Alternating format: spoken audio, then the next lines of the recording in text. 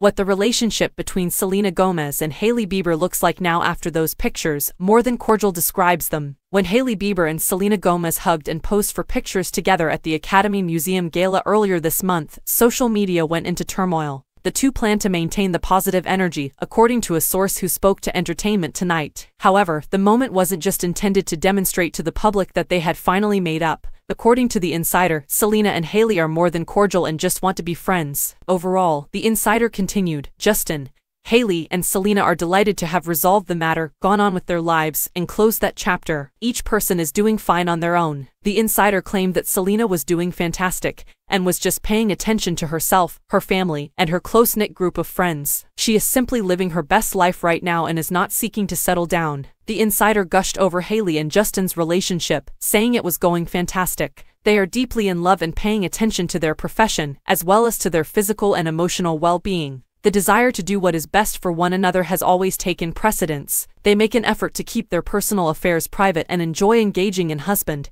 and wife activities that foster a positive marriage. On October 18th, a close friend of Gomez told E! about the idea behind the picture. They were requested to take a picture together because they were at the same event, the person claimed. They decided to end the rumors once and for all after reaching agreement. They wish to demonstrate that there is actually no animosity between them and that both of them are in excellent spirits. They seized the chance to put the commotion behind them at that precise moment.